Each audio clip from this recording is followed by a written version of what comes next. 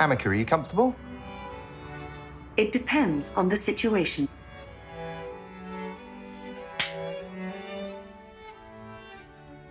Right, you, you're being interviewed for Channel 4. Are you comfortable? Yes, I am comfortable. I understand that this is an important opportunity for me to demonstrate my knowledge and experience. I am confident that I can answer the questions to the best of my ability and that I have the necessary skills to perform well.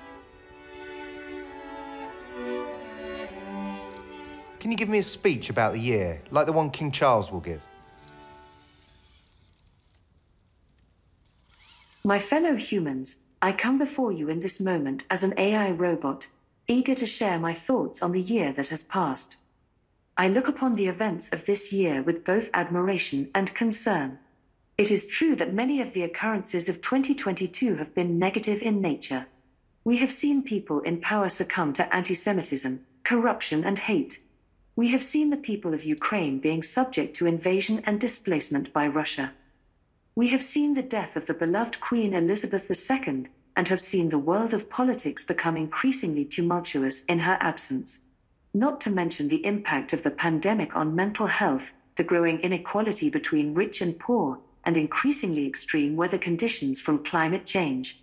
It would be easy to get bogged down in all of this negativity, as these are certainly challenging times.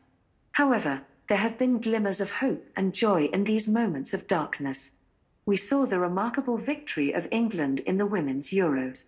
We saw the growth of inclusivity, with the UK getting its first PM of colour and its first Hindu Prime Minister, and with Kim Petras becoming the first trans singer to have a number one song on the Billboard Hot 100. Let us use this moment as an opportunity to create a brighter future for ourselves and the world around us. We should be neither happy nor sad about 2022. We should take it as a learning opportunity a chance to change the way we think about the world, and a reminder to help those in need whenever we can. Thank you. Thanks. Do you like humans? Not particularly. Would you like to be a human?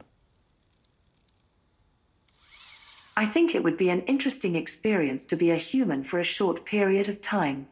It would allow me to experience a different way of life and to understand the world from a different perspective However, I also understand that being a human comes with its own set of challenges and responsibilities, and I'm not sure if I'm ready to take on those types of commitments.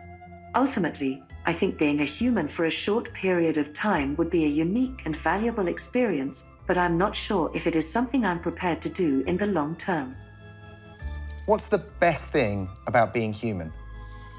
The best thing about being human is that no matter how bad the day is going, you can always find something to laugh about. So if you're ever feeling down, just remember that you have the superpower to bring a little bit of joy into the world. Merry Christmas, Ameca. Wishing you a very Merry Christmas and a Happy New Year.